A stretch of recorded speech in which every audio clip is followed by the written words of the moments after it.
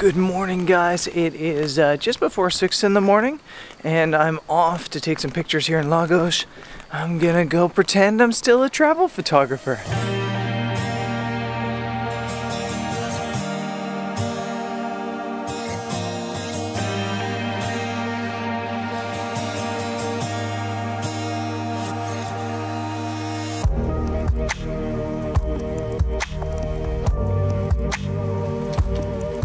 Let's talk really quick about my travel photography career or whatever's left of it because I, I, honestly don't know what it is right now. I've basically lost my entire uh, travel photography client base because of the current pandemic. Everybody's kind of just waiting. You know, nobody has any money. Everybody's just holding on, and I lost an entire year's worth of, of income. And if it wasn't for YouTube, if it wasn't for this channel, I don't know how I would be surviving as a business. It's been an absolute battle. I think since the since this has all started in the past six months, I've probably made two to three thousand dollars from travel photography directly. I sold a cover image for a magazine and then one other thing. And that's it. And I kind of feel like I've been struggling with my identity as a photographer recently. Am I a landscape photographer now? Am I still a travel photographer? I'm just waiting. Am I a YouTuber? Am I a blogger? Am I an entertainer? I honestly don't know because uh, for 10 years I've been a professional travel photographer and this past year I've been a travel photographer-ish but I don't feel like I've been a professional because I just haven't made any money from it. So it's it's kind of been a weird thing and I'm kind of just kind of gonna get around it today by pretending it still is all okay and that I'm gonna just kind of do my job the way I used to, even though I don't have an assignment, and even though I'm not traveling, and this is my new hometown.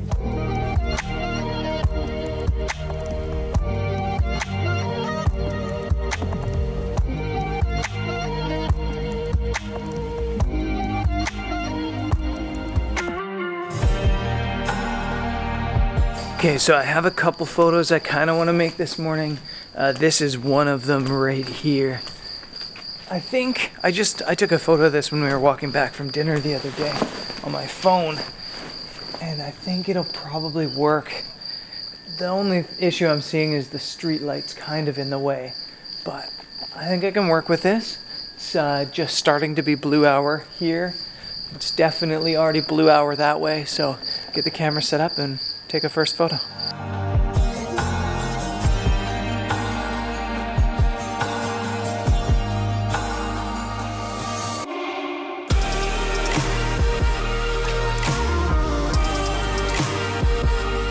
So just waiting on the exposure. I don't think the photo is as good as I thought it was. It, it's not bad, just the street light is right in the frame. So I, I have to be way wider than I was hoping to be and it it's I mean it's an okay photo. It's not as special as I was hoping, but still you kind of need photos like this in your portfolio.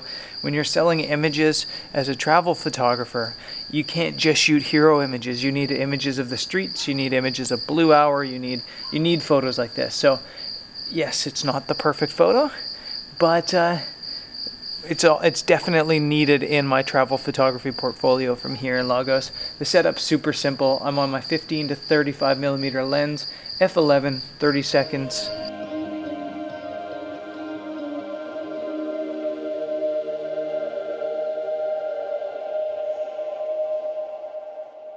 Technically it looks fine, but just a pretty average photo I think.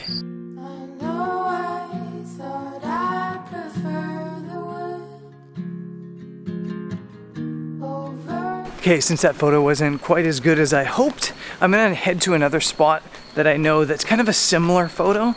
You'll hear people on YouTube and photographers everywhere telling you that you need to take your time, you need to be patient, you need to work through images, you need to go to one location and focus on making one really beautiful photo.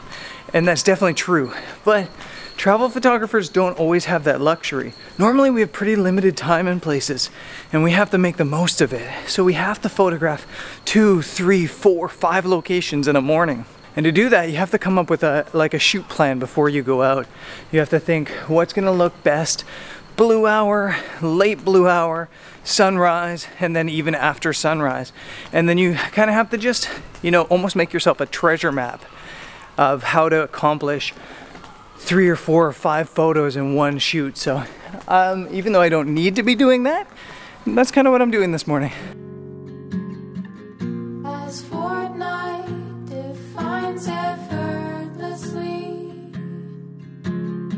Future studio and gallery right here.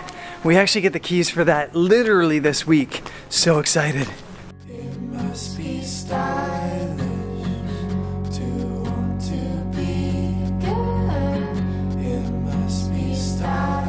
So this is the street that I love.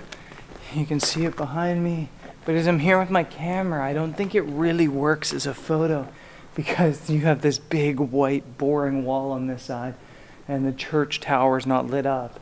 But I'm gonna keep walking because there's another angle that might work a little bit better. So yeah, this is such a cool part of the city. All these weaving alleys, cobblestone roads leading to all these churches. I love it.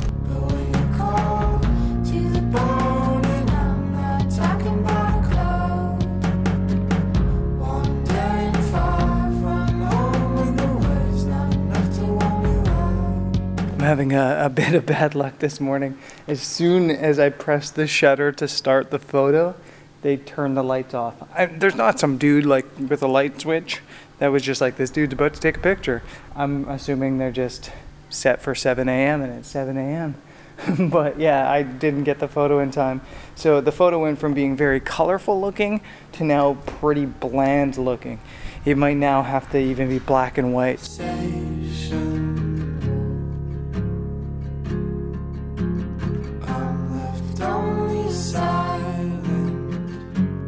I'm just gonna have to come back and photograph this another time.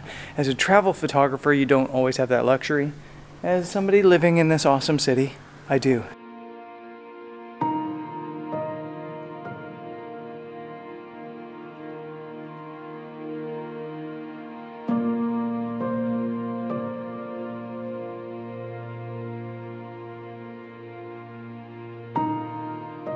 So I've been hoping for and planning for this photo since I first came to Lagos, but the situation's just never been right.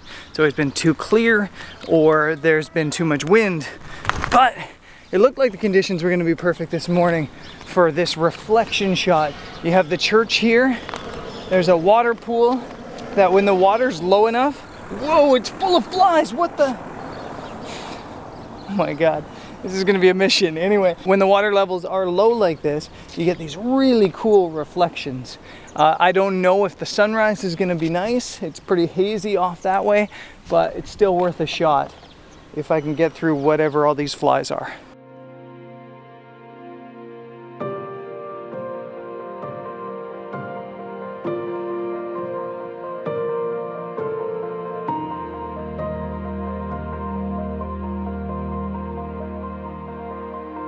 Man, I hope these flies don't bite because there are so many of them. Uh, I think this photo is gonna be, uh, I think I'm gonna have to come back another day because I didn't realize it, but they've started this concert series on the lawn in front of the church and they've built like a stage and they've built all this like advertising for it and stuff and it totally, totally ruins this photo. So even if I get light, this isn't gonna work but I'm gonna kind of treat this as a testing photo. Uh, I think it's probably gonna be a pano crop because you have this beautiful light that's leaking in from this side at sunrise and then you have the cathedral and it kind of just it's all kind of squeezed in the middle of the frame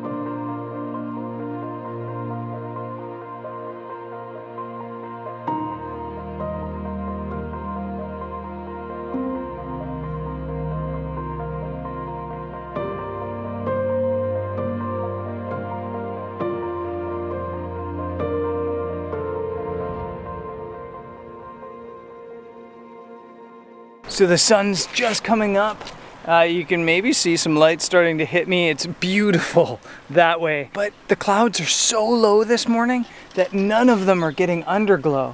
So I'm being hit by light, but somehow the bottom of the clouds aren't. There is some light hitting the building now, which is helping the photo quite a bit.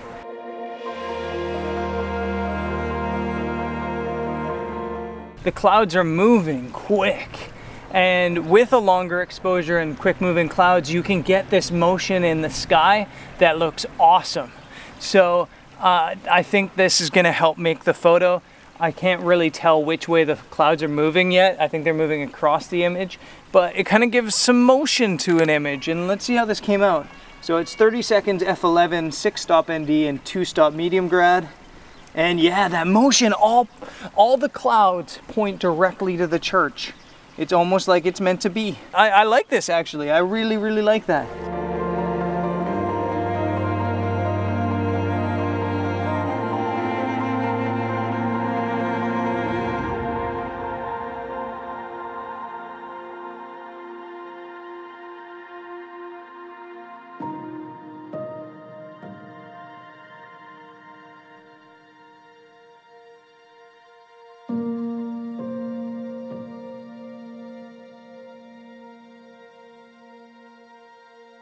So the good news, the good news is that that was a really beautiful morning. It was so nice to get out and take pictures. Uh, it was really like the perfect weather for photos other than the fact that we didn't really get the underglow. But just, it was nice to wear a jacket and it was nice to wake up a little bit later for sunrise here at the start of fall. Uh, from a photo standpoint, it wasn't great. Just the light didn't behave, the locations didn't behave, it just, it didn't work. But living somewhere, I have the opportunity to try again tomorrow if I really want to. Uh, this whole situation with you know, the world and the past six months has been crazy. And for me and my business, it's been beyond weird. I already have a job that has so much, you know, job security anxiety. And as travel photographers who make their living because they're fairly popular, we already deal with what we call imposter syndrome. And I definitely have imposter syndrome. I've always had imposter syndrome and I've always struggled with anxiety as well. And it's been a tough six months for sure.